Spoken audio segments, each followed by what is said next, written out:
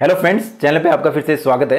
दोस्तों, इस वीडियो के अंदर मैं अपन leave, quarter LTC NPS RTF and medical पे डिस्कस करने वाले हैं। सभी पॉइंट्स को मैंने डिटेल में इसमें मैंने बताया आपको। एक्चुअली दोस्तों होता है कि मैं सभी जो भी वीडियोस हैं, उसमें आपको ये कॉमन चीज़ें बताता हूँ तो ये रिपीटेशन होती रहती हैं और मैं पूरा डिटेल में इसको बता भी नहीं पाता हूँ। तो इसीलिए मैंने ये वीडियो बनाया ताकि पूरा डिटेल में ये सारे टॉपिक्स कवर हो हैं और सारे पॉइंट्स इसमें कवर हो पाएँ। दोस्तों, खासकर एनपीएस के बारे में मैंने इसमें काफ़ी डिटेल में बताया। काफ़ी ऐसी चीज़ें जो अभी तक आपने नहीं सुनी होगी एनपीएस के बारे में, जो भी न्यू पेंशन स्कीम है, वो मैंने लास्ट में इसमें डाला, आप जाके उसमें देख सकते हैं। दोस्तों, आप सीपीओ की तैयारी कर रहे हो, चाहे सीजीएल की तैयारी करो, किसी भी पोस्ट की तैयारी कर रहे हो, ये कॉमन मतलब फैसिलिटीज़ हैं जो कि मिलती है, जहाँ पे भी डिफरेंस रहेगा, मैं आपको बताऊँगा कि कहाँ पर क्या क्या डिफरेंस है। तो दोस्तों, चलिए अपन सबसे पहले स्टार्ट करते हैं स्टडी लीव से।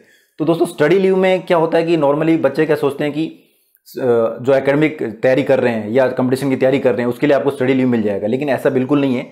स्टडी लीव के लिए आपको एक कुछ स्पेसिफाइड प्रोफेशनल कोर्सेज हैं, जो कि फेलोशिप्स हैं, जो कि आपको मतलब उसी में आप कर सकते हैं।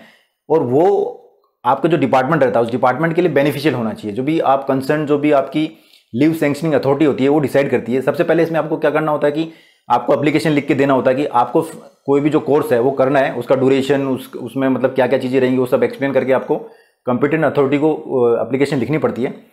बाद में जो कि आपकी लीव सेंक्शनिंग अथॉरिटी है, वो डिसाइड करेगी। सबसे पहले तो वो क्या देखेगी?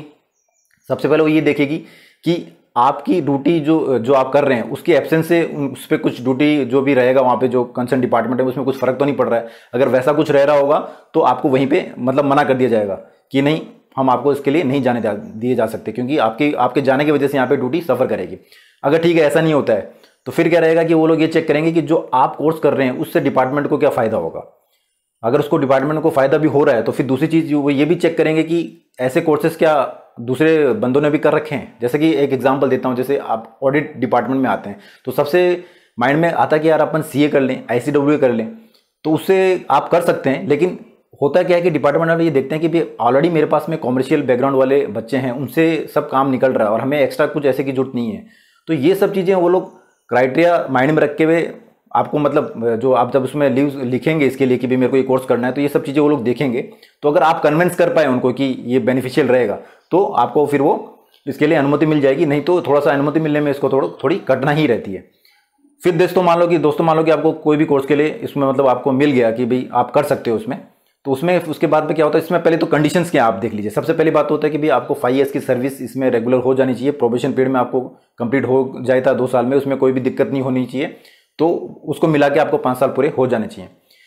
और दोस्तों, उसमें ये भी एक बॉन्ड आपको ये भी भराया जाता है कि जब आप कोर्स कंप्लीट करके आते हैं कोर्स कंप्लीट करने के बाद में आपको कम से कम तीन साल की सर्विस इसमें देनी पड़ती है। मेडिकल वाला कोई अगर डिपार्टमेंट है तो उसमें पाँच साल रहता है कि सर्विस मतलब आपको देनी पड़ती है, लेकिन इसमें जो अपने जो डिपार्टमेंट है उसमें आपको तीन साल की सर्विस देनी पड़ती है। तो अगर आप कोर्स करने के बाद में तीन साल की सर्विस नहीं दे पाते हैं और छोड़ देते हैं तो जितने भी आपको जो पे वगैरह मिली थी उस समय प्लस जो भी आपका जो लीव एडजस्टमेंट है जो, लीव दी गई है वो सारी एडजस्टमेंट होने के बाद में आपके जो भी पैसे अगर उनमें बन रहे हैं तो वो उसमें कटौती हो जाती है।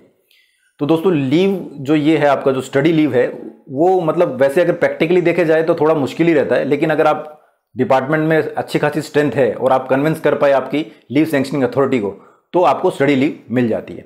लेकिन आप हमेशा ये ध्यान रखिएगा कि आपके जो रेगुलर एकेडमिक जो सब्जेक्ट्स हैं प्लस जो आप कंपटीशन की तैयारी कर रहे हैं, उसके लिए आपको कभी भी स्टडी लीव नहीं मिलती है। और दोस्तों सी और आई से रिलेटेड एक चीज़ मैं भी बताना चाहता हूँ कि जब डबल खासकर आप बन के आते हैं तो ये सब चीज़ें कोर्सेज वगैरह करने के लिए रहते हैं तो काफ़ी एक चीज़ माइंड में ये भी आती है कि क्या हमें आर्टिकलशिप जो करना पड़ता है? तो क्या अपना एक्सपीरियंस काउंट होता है क्या? डब्ल्यू वगैरह का या अभी कोई भी गवर्नमेंट जॉब कर रहे हैं आप तो क्या उसका अपन तब सी ए या एस करें तो आर्टिकलशिप के लिए अपने को ये आर्टिकलशिप अगले से करना पड़ेगा कि अपना एक्सपीरियंस काउंट हो जाएगा? तो इसके लिए मैं आपको बता दूँ कि आर्टिकलशिप के लिए मतलब जो अपना एक्सपीरियंस है वो बिल्कुल काउंट नहीं होता। ये सिर्फ़ फैसिलिटीज़ दी गई है जो जो यूपीएससी के through I and A S जो ऑफिसर्स आते हैं, सिर्फ़ उन्हीं को ये फैसिलिटीज़ दी गई है। तो वो जब करते हैं कोर्सेज इवन उनको कुछ एग्ज़ाम वगैरह में भी छूट दी गई है तो उनको आर्टिकलशिप करने की ज़रूरत नहीं रहती है।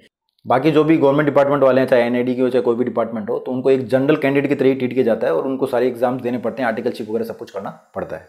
स्टडी लीव नॉर्मली आपको ट्वेल्व मंथ्स के लिए मिल जाएगी। इसको एंटायर सर्विस में आप 24 मंथ्स तक ले सकते हैं। इवन आप जो दूसरी आपके पास में लीव वगैरह हैं, वो भी इसमें इंक्लूड कर सकते हैं। टोटल 28 मंथ से ऊपर नहीं जानी चाहिए। और दोस्तों, इसमें क्या है कि आपको अलाउंस भी मिलता है स्टडी अलाउंस भी मिलता है। अगर आप अब्रोड जाते हैं तो स्टडी अलाउंस में क्या जैसे ऑस्ट्रेलिया में वन स्टर्लिंग आपको मिल जाता है यूके के अंदर में आपको टू स्टर्लिंग मिल जाता है यूएसए में two point six two point seven five sterling आपको मिल जाता है। ऐसे अलग अलग कंट्रीज़ के अंदर में अलग अलग स्टडी अलाउंस है जो कि आपको मिल जाते हैं। लेकिन ये वैकेशन के टाइम पे आपको नहीं मिलते हैं, जो सिर्फ़ जो आपकी स्टडी चल रही थी उसी के टाइम पे मिलते हैं। लेकिन वैकेशन के टाइम पे मिल सकते हैं, अगर आप कोई सर्टिफिकेट ला उनको दिखाते हैं कि भाई, मैं वैकेशन के टाइम पे भी क्लासेस ले रहा हूँ। आपको जो सैलरी मिलेगी, वो जब आप इस पर स्टडी लीव पे जा रहे होंगे, उससे पहले जो सैलरी आपको मिल रही है वही सैलरी आपको मिलेगी। लेकिन अगर आप कोई कोर्सेज के लिए जाते हैं और वहाँ पर आपको कोई स्टाइफेंड मिल रहा है या कुछ वहाँ पे अगर आपको कुछ सैलरी मिल रही है, जैसे कई कई कोर्सेज में स्टाइफेंड वगैरह मिलता है तो वो सैलरी में से आपके उसमें माइनस कर दिया जाता है। लेकिन इसमें भी एक लिमिट है कि इतना भी ज़्यादा उसमें से डिडक्शन नहीं करना है कि आपकी हाफ़ पे लीव से भी कम हो जाए। जैसे मान लो कि आपकी सैलरी फिफ्टी थाउज़ेंड आपको मिल रही है, और आपके वहाँ पे स्टाइफेंड थर्टी थाउज़ेंड मिल रहे हैं तो आपको थर्टी थाउज़ेंड स्टाइफेंड उसमें से माइनस नहीं किया जाएगा, क्योंकि आपका जो फिफ्टी परसेंट है, वो ट्वेंटी फाइव थाउज़ेंड तो आपको मिलना ही मिलना है। मतलब ट्वेंटी फाइव थाउज़ेंड प्लस आपके जो वहाँ पे अलग से आपको, जो स्टाइफेंड मिले थर्टी थाउज़ेंड वो आपकी इसमें टोटल सैलरी हो जाएगी। नेक्स्ट लीव है एल एन डी और H P L H P L actually होता है हाफ़ पे लीव जो कि आपको ट्वेंटी एच पी एल मिलते हैं ईयरली एडवांस में आपको एक जनवरी और एक जुलाई को टेन टेन टेन मतलब एच पी एल मिल जाती हैं. ईयरली आपको ट्वेंटी एच पी एल मिलती है. ये मेडिकल ग्राउंड पे आप अगर इसको लेते हैं तो इसी एच पी एल को कॉम्पिटेड लीव कहते हैं. होता क्या है कि एचपीएल में आप जब एचपीएल अगर डायरेक्ट अप्लाई करते हैं विदाउट मेडिकल ग्राउंड पे जब अप्लाई करते हैं, तब होता क्या कि एक दिन की एक ही एचपीएल करती है, लेकिन आपको हाफ़ पे मिलती है. कॉमोटेड लीव में क्या होता है? जो एच ही करती हैं आपकी, लेकिन उसमें एक दिन की दो एचपीएल करती हैं, लेकिन आपको सैलरी फुल मिलती है। तो एलएनडी भी इसी से रिलेटेड है लीव नॉट ड्यू उसको बोलते हैं। उसका मतलब एलएनडी आप तब ले सकते हैं कि उसमें आपका ये कंडीशन रहता है। कंडीशन क्या रहता है? मतलब आपको ही अप्लाई करना रहता है कि रिक्वेस्ट करनी रहती है कि सर जो मेरी फोर्थ कमिंग एचपीएल जो आगे जाके मैं गेन करूँगा, आगे ईयर्स में जो मैं गेन करूँगा वो मेरे को आप एडवांस में दे दीजिए। तो ये आपकी कंपिटेंट जो अथॉरिटी रहती है लीव सेंक्शन अथॉरिटी है वो डिसाइड करती है कि भाई ये बंदा वापस आएगा क्या। अगर वो आप, उनको मतलब कॉन्फिडेंस में रहता है तो वो आपको वैसे नॉर्मली दे देते हैं, अगर आपको ज़रूरत रहती है मेडिकल ग्राउंड पे तो आपको मिल जाती है। लेकिन अगर आप डिपार्टमेंट छोड़ के चले जाते हैं तो वही आपकी एच आपको एडजस्ट कर लेती है सैलरी वगैरह में उसको वापस एडजस्ट कर देते हैं, अगर आप वापस नहीं आते हैं, और आपकी उतनी एचपीएल वगैरह नहीं बन पाती है तो। तो मोटा मोटी आप देखा जाए तो एल जो कि लीव नोट ड्यू है, वो आपकी एच के ही जगह दी जाती है मतलब आपको एडवांस पे एच दी दी जाती है, उसको लीव नोट ड्यू कहते हैं। L N D leave not due आपको 360 डेज़ एंटायर सर्विस में आप उसको ले सकते हैं। ई एल अर्न लीव जिसको बोलते हैं, ये नॉर्मली आपको जो सिविल डिपार्टमेंट है, उसमें थर्टी डेज़ में मिलती है। अगर आप सी पी ओ की बात करें तो उसमें आपको ये मिलती है थर्टी डेज़ किसमें? सी एस एफ़ में। बाकी जितने भी फोर्सेज है, उसमें सिक्सटी डेज़ रहती है। तो ये वैसे नॉर्मली पर मंथ आपको ढाई मतलब टू एंड हाफ़ डेज़ के हिसाब से देते हैं, लेकिन एडवांस में इसको जनवरी और जुलाई फ़र्स्ट ऑफ़ जनवरी और फ़र्स्ट ऑफ़ जुलाई को इसमें आपको 15 डेज़ वो एडवांस में दे देते हैं। और in the case of 60 days जिसको मिलती है, जिस जिस भी फोर्सेज के अंदर में, उसको ये 30 डेज़ एडवांस में दे देते हैं। नेक्स्ट आती है आपकी सी एल कैजुअल लीव वो फोर्सेज में सभी में है 15 डेज़ ही सीएल मिलती है। सिविल में ये एट डेज़ सी रहती है। सीएल का बेनिफिट ये रहता है कि इसमें जो भी बीच में छुट्टियाँ आती है, वो काउंट नहीं होती हैं। और प्रफिक्स और सफिक्स भी इसमें अपन ऐड करके कर सकते हैं। आरएच को भी इसमें जो रेस्ट्रिक्टेड हॉलीडे होता है, जो कि दो अपने को मिलता है साल के अंदर में, उसको भी इसमें मिक्स करके उसको अपन ले सकते हैं। इसका सबसे अच्छा बेनिफिट ये है कि इसको हाफ़ डे भी ले सकते हैं। और कई बार ऐसा भी होता है कि मान लो कि बाई चांस आपने सेकेंड हाफ़ में हाफ़ डे लिया है और उसके अगले दिन आप बीमार पड़ गए। तो आप वो जो एच या जो भी और दूसरी छुट्टी लगाओगे बीमार होने की वजह से तो वो हाफ़ सीएल उसके साथ आप ऐड कर सकते हो। वैसे नॉर्मली दूसरी छुट्टियों के साथ ये जो सीएल रहती है वो जो रेगुलर जो आपके लीव्स है, उसके साथ में मतलब उसको आप ऐड नहीं कर सकते हैं। लेकिन ये जो केस मैंने बताया कि सेकंड हाफ़ में आप अगर आपने सीएल ली है और उसके आगे आप अगर आपने दूसरी छुट्टी मतलब दूसरी छुट्टी नहीं, आप अगर बीमार पड़ गए तो आप इसको ऐड कर सकते हैं, उसके साथ में मिला सकते हैं। चलिए दोस्तों, अपन बात करते हैं मैटर्निटी लीव की। मैटर्निटी लीव लेडीज़ के लिए रहती है। 180 डेज़ के लिए मैटर्निटी लीव मिलती है, जिसके साथ में किसी भी तरह की लीव आप मतलब ज्वाइन करके इसको ले सकते हैं। लेकिन कोई भी तरह की लीव ज्वाइन करके ये टू ईयर्स से ज़्यादा नहीं होनी चाहिए। मैटर्निटी लीव दो चाइल्ड के लिए मिलती है। अगर आप चाइल्ड अडॉप्ट करते हैं तो वो वन ईयर से ऊपर का होना चाहिए। मिस कैरेज के लिए भी फोर्टी फाइव डेज़ की मतलब आप लीव मिलती है इसके अंदर में। और इसमें ये कंडीशन ये भी है कि अगर आपका पहला बच्चा ट्विन हुआ तो दो बच्चों के लिए आपको मिलेगा ही। लेकिन अगर आपका दूसरा बच्चा ट्विंस हो गया तो आपको फिर तीन बच्चों के लिए लीव मिलेगी। पैटर्निटी लीव में फिफ्टीन डेज़ के लिए आपको लीव मिलती है, जो कि जेंट्स को मिलती है।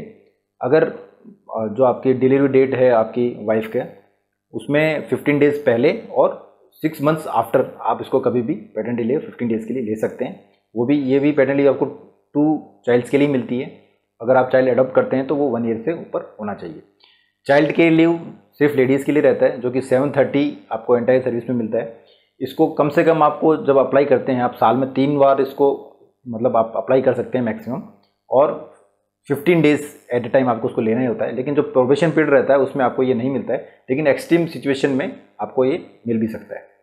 चाइल्ड के लिए दो बच्चों के लिए मिलता है। बच्चा जब तक एटीन ईयर्स होता है जब तक। और अगर वो डिसेबल है तो ट्वेंटी टू ईयर्स तक वो चाइल्ड केयर लीव दे सकते हैं। दोस्तों नेक्स्ट लीव है E O L extra ordinary leave ये आप at at a stage five year से ज़्यादा इसको नहीं ले सकते हैं। ये लीव आप जब अप्लाई करते हैं, जब आपके पास में नॉर्मली कोई लीव नहीं होती है। लेकिन अगर आपके पास लीव है, फिर भी आप ई e चाहते हैं तो अप्लाई कर सकते हैं। इसके अंदर में आपको कुछ भी सैलरी नहीं मिलती है।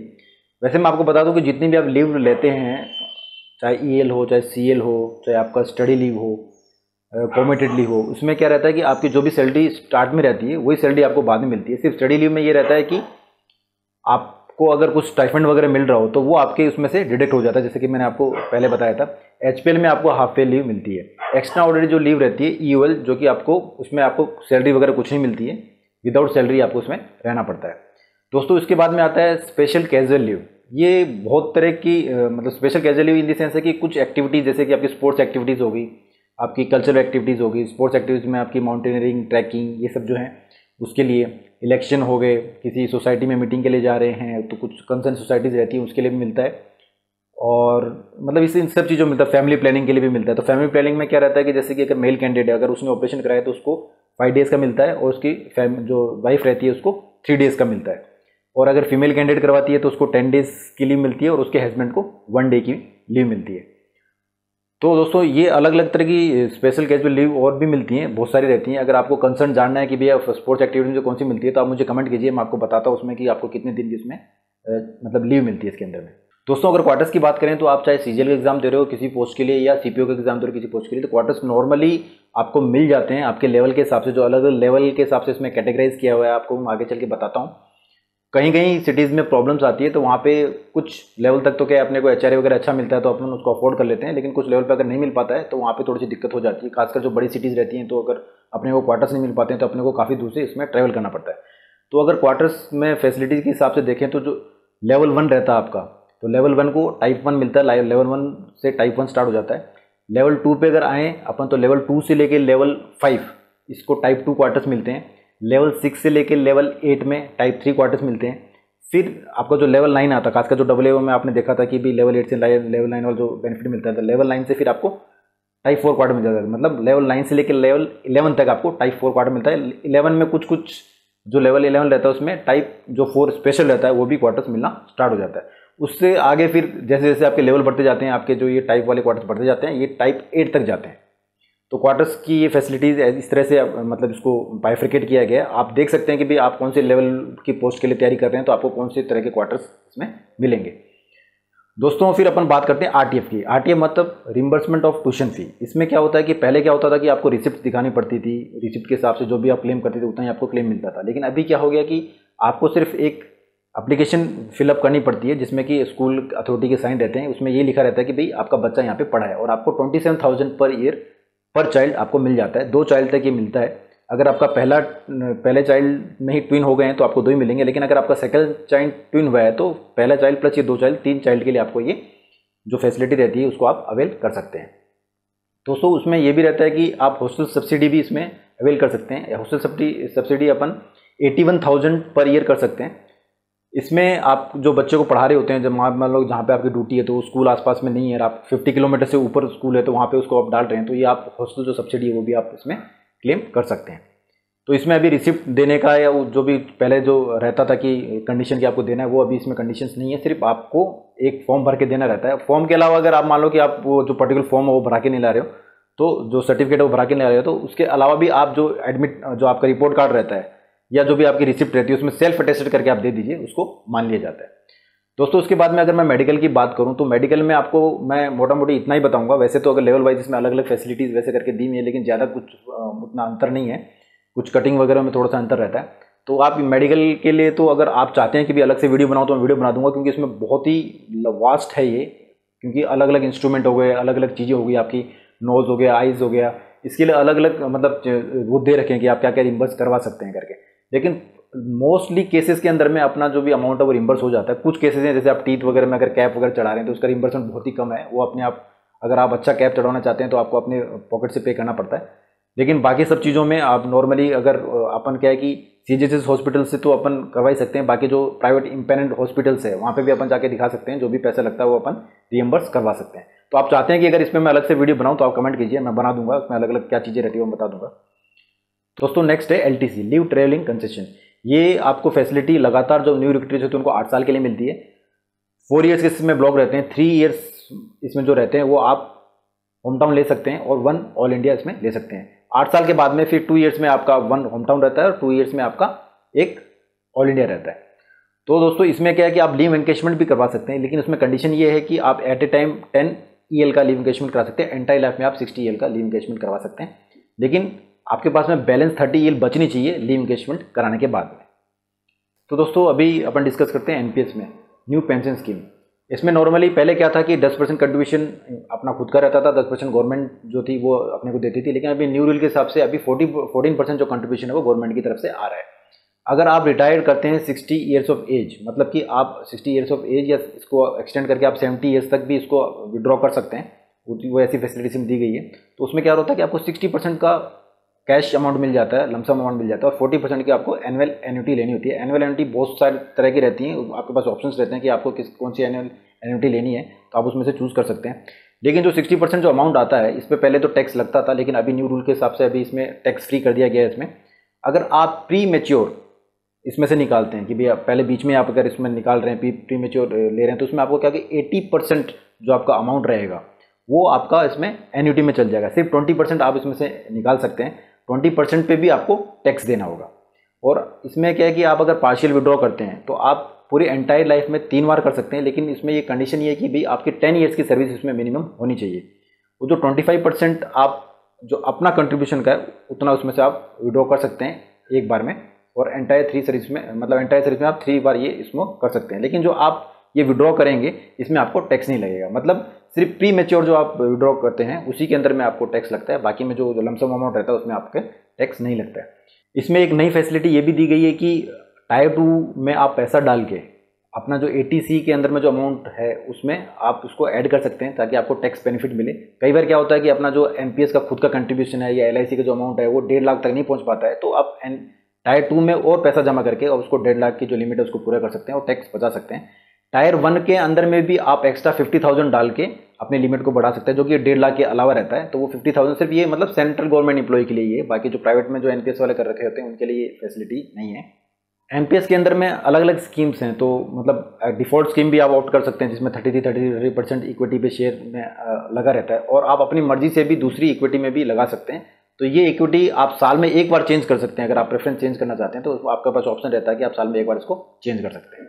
तो दोस्तों, ये था वीडियो पूरा, जितने भी फैसिलिटीज़ एक्स्ट्रा फैसिलिटीज़ रहती हैं। मेरा मोटिव यही था कि भाई आपको डीपली इसमें सब कुछ मैं बता सकूँ। फिर भी अगर कुछ पॉइंट्स रह गए हों, आप इसमें जानना चाहते हो, क्योंकि कुछ पॉइंट्स मैंने, जो कि मेरे को लगा कि आपको उतना ज़रूरत नहीं होगी जानने के लिए तो मैंने उसमें छोड़ दिए हैं। क्योंकि वो, खासकर जो डिपार्टमेंट में कैंडिडेट्स रहते हैं, उन्हीं वो जब उसको यूज़ कर रहे होते हैं, तभी उसको जानना चाहते हैं। लेकिन हाँ आप जानना चाहते हो, आपके दिमाग में ऐसा कुछ पॉइंट आया है तो आप मुझे कमेंट बॉक्स में कमेंट कीजिए। मैं आपको टोटल जानकारी वहाँ पर दे दूँगा। तो दोस्तों, अगर अभी तक आपने मेरे चैनल को सब्सक्राइब नहीं किया है तो सब्सक्राइब ज़रूर कीजिए, बेल आइकन दबाने के बाद में ऑल ज़रूर दबाइए, ताकि जो भी मैं वीडियोस बनाऊँ, उसकी सारी नोटिफिकेशन आपको मिलते रहें। तो फ़िलहाल के लिए दोस्तों, जय हिंद।